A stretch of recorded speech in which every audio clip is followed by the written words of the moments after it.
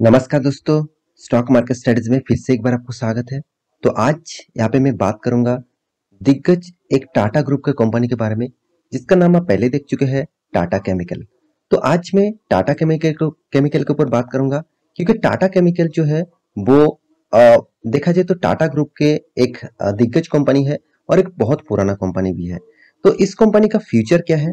Future में किस field में कंपनी काम कर रहा है? क्या इस कंपनी के ऊपर निवेश करना चाहिए? क्या कौन सा लेवल है जिस लेवल के ऊपर मैं बाय कर सकता हूँ? तो इस तरीके से क्वेश्चन के आंसर मैं यहाँ पे देने वाला हूँ। तो वीडियो को पूरा देखिए। बहुत कुछ इन्फॉर्मेशन आपको इस चैनल के माध्यम से मिलता रहेंगे। और हाँ मेरे वीडियो आपको अच्छा लगे तो लाइक करना और दोस्तों के साथ शेयर करना और चैनल को सब्सक्राइब भी करना। तो चलो, देख लेते हैं आज के स्टॉक के बारे में। वीडियो शुरू करने से पहले और एक चीज़ मैं आपको ज़रूर कहूँगा।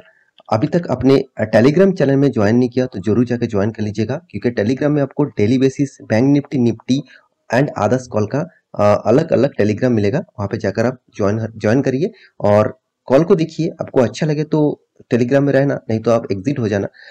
और तो चलो, देख लेते हैं आज के सबसे पहले स्टॉक के बारे में। देखिए, सबसे पहले मैं गूगल के ऊपर सर्च किया तो सबसे पहले जिस कंपनी का नाम यहाँ पे दिखा, वो है कंपनी नहीं जिस सेक्टर के नाम दिखा, वो है लिथियम आयरन बैटरी तो लिथियम आयरन बैटरी यहाँ पे क्यों दिखा रहा हूँ? सबसे पहले ये बात आ जाता है मन में, क्योंकि देखिए लिथियम आयरन बैटरी जो है, वो इलेक्ट्रिक व्हीकल तो जितने सारे इलेक्ट्रिक व्हीकल है, उनमें से देखा जाए तो लिथियम आयरन बैटरी से ही चलते हैं। तो सिर्फ़, देखिए, सिर्फ़ गाड़ियाँ लिथियम आयरन बैटरी से नहीं चलते, और भी बहुत सारे इंस्ट्रूमेंट लिथियम आयरन बैटरी से ही चलते हैं। तो ज़्यादातर पे जो डिमांड है इंडिया में जितने सारे डिमांड है, सिर्फ़ इंडिया में नहीं ऑल वर्ल्ड में जो डिमांड है इलेक्ट्रिक व्हीकल के लिए, वो लिथियम आयरन बैटरी है। तो लिथियम आयरन जो बैटरीज है, वो उसके ऊपर बहुत ज़्यादा डिमांड है। और लिथियम आयरन बैटरी बनाने के लिए जो केमिकल के ज़रूरत होते हैं, वो यहाँ पे ऑब्वियसली एक केमिकल के ज़रूरत होते हैं। और वो केमिकल देखा जाए तो टाटा ग्रुप किसके साथ डीलिंग्स करते हैं? वो टाटा केमिकल के ऊपर। तो इसीलिए मैं आज बात करूँगा टाटा केमिकल के ऊपर तो मैं वीडियो शुरू करने से पहले इसको डिटेल्स में दिखाने से पहले मैं ज़रूर यहाँ पे एक डिस्क्लेमर ज़रूर दूँगा। आ, मैं इस वीडियो को आपको एडुकेशन पर्पज में दे रहा हूँ। आप कोई रिकमेंडेशन नहीं समझ लेना कि मैं इस लेवल से बाय करने के लिए बोल रहा हूँ कि इस लेवल को सेल करने के बोल रहा हूँ। मैं आपको इन्वेस्टर के हिसाब से बात कर। आपको अच्छा लगे मेरा वीडियो और आपको इन्फॉर्मेशन लग अच्छे ठीक ठाक लगे तो आप स्टडी करने के बाद निवेश करने के लिए सोचिए। और हाँ कभी भी लोन लेके कभी भी निवेश मत करना क्योंकि लोन लेके निवेश करना बहुत ग, मतलब गलती हो सकती है और आपका पैसा भी अगर कुछ कुछ भी तरीके से लॉसेस हो जाए तो आप बहुत बड़ा दिक्कत में आ सकते हैं। तो चलो देख लेते हैं टाटा केमिकल के डिटेल्स के बारे में। तो देखिए, पिछले दिनों में कंपनी ने एक अप मूवमेंट तो ज़रूर था। देखिए all over market up movement up movement में था। क्योंकि देखिए जो गवर्नमेंट का जो पॉलिसीज़ थे, वो पिछले दिनों में न्यूज़ के माध्यम से सामने आया और मार्केट एक पॉजिटिव रिएक्ट किया। तो देखिए, यहाँ पे कंपनी देखिए 999 तो ओवरऑल कंपनी पिछले दिनों में 1000 क्रॉस कर चुके थे। और कंपनी देखा जाए तो 52 वीक का हाई के नज़दीक है।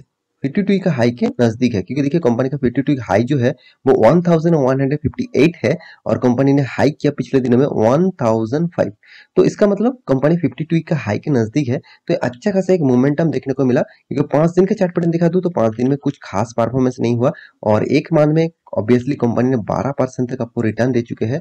सिक्स मंथ में देखेंगे तो कुछ उतना ज़्यादा रिटर्न नहीं है थ्री परसेंट का रिटर्न और एक साल में कंपनी 24 परसेंट तक रिटर्न दिया और पाँच सालों में कंपनी 57 परसेंट का रिटर्न मतलब उतना खास रिटर्न नहीं है। और आप मैक्सिमम चार्ट पैटर्न देखेंगे तो 863 परसेंट का रिटर्न कंपनी एक्चुअली स्टार्ट हुआ था 1990 से भी पहले. कंपनी मार्केट में मतलब लिस्टिंग हुआ 99 से भी पहले. तो आप, आपको एक मैं आज टिप्स दिखा रहा हूँ कि आपको कंपनी कब से स्टार्ट हुआ था, आपको देखना है. तो आप यहाँ से कुछ भी नहीं, इस जो, इसके लिखने के बाद बीएससी लिख दीजिए. बीएससी लिखने में आपको कंपनी कब से स्टार्ट हुआ, उसका अंदाज़ा यहाँ पे आपको लग जाएगा. तो चलो यहाँ पे दिखा रहा है 1990 से. तो उससे भी पहले हुआ था तो थोड़ा सा यहाँ पे डेटा मुझे लगता है डेटा यहाँ पे ठीक ठाक अवेलेबल नहीं है। तो कंपनी देखिए कोई बहुत पुराना कंपनी में पहले आपको बता चुका हूँ। देखिए कंपनी 1939 से कंपनी स्टार्ट हुआ था। और केमिकल इंडस्ट्रीज़ के आ, मतलब केमिक केमिक केमिकल इंडस्ट्रीज़ के ऊपर कंपनी काम करते हैं। और इसका जो पेरेंट ग्रुप है मतलब पेरेंट ऑर्गेनाइजेशन है आप देख सकते हैं टाटा तो टाटा ग्रुप इसका पेरेंट ऑर्गेनाइजेशन है और इसका जो सब्सिडरीज कंपनी है, टाटा कंज्यूमर प्रोडक्ट्स एंड यहाँ पे देखिए रील्स इंडिया ऑन अदर्स तो टाटा केमिकल जो है वो एक लार्ज कैप कंपनी है क्योंकि इसका कंपनी का मार्केट कैप 25,000 करोड़ से भी ज़्यादा है। और मैं एक चीज़ ज़रूर कहूँगा इस कंपनी के ऊपर निवेश करने से पहले आप बहुत ज़्यादा स्टडी कर लेना क्योंकि एक एक वोलाटिलिटी कंपनी है क्योंकि यहाँ पे मैं चार्ट पैटर्न आपके सामने रखू तो आप देखेंगे तो कोरोना के लॉकडाउन के टाइम में करीबन करीबन सेवेंटी परसेंट तक गिरावट हो गया था। सॉरी सेवेंटी परसेंट तक गिरावट हो गया था इस कंपनी का।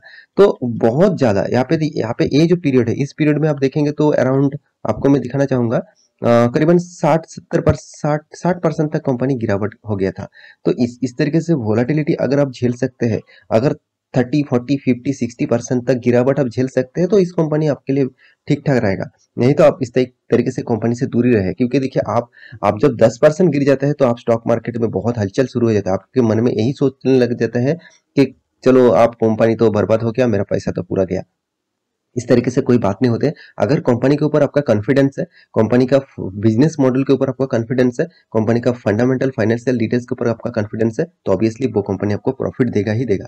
अगर देखिए कोई लोग यहाँ पे सोचकर ये इस इस लेवल में शायद बाय करके रखे थे। और कोरोना के लॉकडाउन में यहाँ पे गिरावट हुआ था। अगर इस जगह पे अगर माल बेच देते थे तो कंपनी वो क्या होगा? उसको लॉसिस हो गया। क्योंकि देखिए कंपनी उस लेवल को भी ब्रेकआउट किया और अभी आज के दिन टॉप लेवल में है।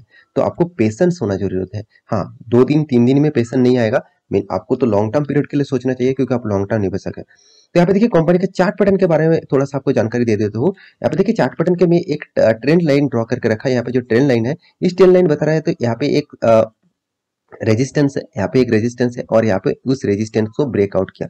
मगर जो ब्रेकआउट हुआ तो मुझे लगता है उतना स्ट्रॉन्ग ब्रेकआउट नहीं है क्योंकि यहाँ पे सपोर्ट जोन यहाँ पे बहुत सारे सपोर्ट जोन थे तो इस सपोर्ट जोन को ब्रेक नहीं कर पाया कर पाया। तो एक अच्छा खासा मोमेंटम दिखा है और आम मूवमेंट में ज़रूर है, मगर मुझे लगता है यहाँ पे जो ब्रेकआउट हुआ, थोड़ा सा रिटेस्ट कर सकते हैं, उसके बाद बाय बैक कर मतलब बैक कर सकते हैं। क्योंकि देखिए यहाँ पे जो वॉल्यूम के बारे में बात करूँ तो कंपनी का देखिए वॉल्यूम जो है, इस लेवल का जो वॉल्यूम है तो उतना खास वॉल्यूम मुझे नहीं दिखा। हाँ पहले जो मार्केट री बैक कर रहा था, तब वॉल्यूम अच्छा खासा था तो यहाँ पे उतना ज़्यादा वॉल्यूम एग्रेसिवली नहीं दिखा। मुझे लगता है एक रिटेस्ट करेगा, उसके बाद रीबैक कर सकते हैं। देखिए, मैं मैं सिर्फ़ एडुकेशन पर्पज में इस इन्फॉर्मेशन को दे रहा हूँ मैं आपको ये नहीं कर रहा हूँ कि इस लेवल से टच किया बैक कर जाएगा और आप यहाँ से निवेश कर सकते हैं। इस तरीके से गलती मत करिएगा। आप पहले स्टडी करिए, और भी नॉलेज गैदरिंग करिए, उसके बाद ट्रेडिंग में आइए। तो ट्रेडिंग में आना कोई छोट मतलब ऐसा वैसे बात नहीं होते हाँ। बहुत सारे दोस्तों को टेक्निकल नॉलेज पता है, वो ट्रेड कर सकते हैं खुद। मगर जितने सारे नया निवेशक आए हैं, उसके लिए थोड़ा सा रिक्सी गेम हो सकते हैं। तो कंपनी के फंडामेंटल के बारे में बात करूँ तो कंपनी देखिए 25,000 करोड़ का मार्केट कैप है। कंपनी का पी रेशियो 30 है। कंपनी का return of equity and return of capital employed बहुत बहुत लो लेवल में है। कंपनी के देखिए एनुअली जो इनकम है 256 करोड़ है। ओवरऑल बात करूँ 7000 करोड़ का कर्जा भी है। डेप्थ ऑफ़ इक्विटी पॉइंट फोर थी है। मतलब डेप्थ ऑफ़ इक्विटी भी आ, थोड़ा सा यहाँ पे दिखा। तो 50 मतलब पॉइंट फाइव ज़ीरो परसेंट तक डेप्थ ऑफ़ इक्विटी है कंपनी का। प्रोमोटर के पास 38 परसेंट होल्डिंग है प्रोमोटर के पास। फ्री कैश फ्लो मतलब हाथ में जो कैश है कंपनी का टोटल 804 करोड़ देखिए, जितना कैश रहेगा, उतना कंपनी फ्रीली काम कर पाएँगे। क्योंकि देखिए कंपनी को मान के चलिए, कोई भी दिक्कत आए, कोई भी सिचुएशन ऐसे क्रिएट हुआ, जिसके कारण कंपनी को पे करना पड़ेगा। तो कंपनी के हाथ में अगर पैसा नहीं है तो वो कहाँ से पे करेगा? तो दूसरा अपॉर्चुनिटी लेना पड़ेगा, वो उसको लोन लेना पड़ेगा, और भी बहुत सारे गिरवी रखना पड़ेगा तो उसके बाद वो काम को हैंडल कर पाएँगे। तो मेरे हिसाब से कैश फ्लो जितना अच्छा रहेगा, उतना ही कंपनी के लिए खास है। तो अर्निंग पर शेयर भी देखिए thirty two point six rupees चलो अच्छा खासा है। इन्वेंटोरी डे मुझे थोड़ा सा ज़्यादा लगा, क्योंकि ज़्यादा दिनों लग रहा है कंपनी को इन्वेंट करने के लिए प्रोडक्ट को प्रोडक्शन करने के लिए। तो डेटस जो डे है कंपनी को 50 डेज़ लग रहा है, ये भी एक थोड़ा सा ज़्यादा मुझे देखा, क्योंकि 50 डेज़ लग रहा है कंपनी के हाथ में पैसा आने के लिए। तो वर्किंग कैपिटल डेज़ जो है, वो चलो ठीक ठाक है ट्वेंटी परसेंट में है। अभी देख लेता हूँ कंपनी जिस सेक्टर से बिलोंग करते हैं, उसमें कंपनी केमिकल इंडस्ट्री से बिलोंग करते हैं तो नंबर एट रैंकिंग में आते हैं कंपनी का नाम। कंपनी देखिए क्वार्टर बेसिस रिज़ल्ट के बारे में बात करूँ तो कंपनी का रिज़ल्ट बहुत अप्स एंड डाउन है। पहले तो कंपनी ज़बरदस्त प्रॉफिट करते थे। बीच में कंपनी ने कोरोना के लॉकडाउन के टाइम में कंपनी उतना खास प्रॉफिट नहीं किया। अभी देख लेते हैं, साल भर की बात तो साल भर में कंपनी अच्छा खासा प्रॉफिट मेंटेन किया। बीच में 2014 में कंपनी लॉस किया था और कभी भी लॉस नहीं किया। तो कंटिन्यू मेंटेन कर रहा है पॉजिटिवली है। आ, तो उतना खास एग्रेसिवली नहीं है फिर भी देखिए पॉजिटिव है। कंपनी ने आपको रिटर्न शानदार दिया दस साल में इक्कीस परसेंट और पाँच साल में तीस परसेंट और तीन साल में फिफ्टी फोर परसेंट और एक साल में ट्वेंटी फोर परसेंट। ओवरऑल बात करूँ कंपनी आपको ट्वेंटी फाइव परसेंट से भी ज़्यादा रिटर्न सालाना आपको दे रहा है। तो अच्छा खासा पैरामीटर होने के नाते भी मैं ज़रूर कहूँगा थोड़ा सा आप रिक्सी गेम खेल रहे हैं, क्योंकि देखिए कंपनी का सेल्स ग्रोथ कंपनी का प्रॉफिट ग्रोथ नेगेटिव में है तो कंपनी सिर्फ़ भागे जा रहा है, इसका मतलब ये नहीं कल जाके आप निवेश कर दीजिएगा। इस तरीके से पैरामीटर आपको देखना चाहिए। इन्वेस्टर के बारे में बात करो, देखिए ऑब्वियसली प्रोमोटर के पास 37 परसेंट है, उसके बाद जिसके पास सबसे ज़्यादा होल्डिंग है, वो है पब्लिक 29.71 परसेंट का होल्डिंग पब्लिक के पास है। और एक चीज़ मैं ज़रूर कहूँगा एफ़ के पास 13.96 परसेंट होल्डिंग है और डीएस के पास 18.32 परसेंट का होल्डिंग है। तो ओवरऑल बात करूँ, हर इंडस्ट्रीज़ के पास इस कंपनी का हिस्सेदारी है। तो एक चीज़ मैं ज़रूर कहूँगा कंपनी के बारे में कंपनी लिथियम आयरन बैटरी के ऊपर ज़बरदस्त काम कर रहा है तो मुझे, मेरे हिसाब से फ्यूचर ओरिएंटेड कंपनी बन गया और कंपनी सिर्फ़ उसी सेक्टर में नहीं केमिकल के बहुत सारे फर्टिलाइज़र और बहुत सारे केमिकल इंडस्ट्रीज़ के साथ जुड़े हुए हैं। तो कंपनी के बहुत सारे कंट्रीज़ के साथ जुड़े हुए हैं यूरोप नॉर्थ अमेरिका अमेरिका और अफ्रीका इस तरीके से मतलब कंट्रीज़ के साथ जुड़े हुए काम करते हैं। तो मेरे हिसाब से इस कंपनी के ऊपर आपका निवेश है तो ऑब्वियसली लॉन्ग टर्म पीरियड के सोचिए। और जितने सारे दोस्त निवेश करना चाहते हैं तो मैं ज़रूर कहूँगा क्वार्टर फोर का रिज़ल्ट आने दीजिए, उसके बाद आपको लगे हाँ इस कंपनी के ऊपर निवेश करना चाहिए तो आप निवेश कर सकते हैं। तो मेरे वीडियो आपको कैसे लगे तो आप ज़रूर कमेंट करके बताना, और मेरे वीडियो आपको अच्छा लगे तो लाइक करना, दोस्तों के साथ शेयर करना, और इस चैनल को सब्सक्राइब भी करना। मिलते हैं नया स्टॉक लेके, तब तक के लिए अच्छे से रहिए, अपने ख्याल रखिए बाय बाय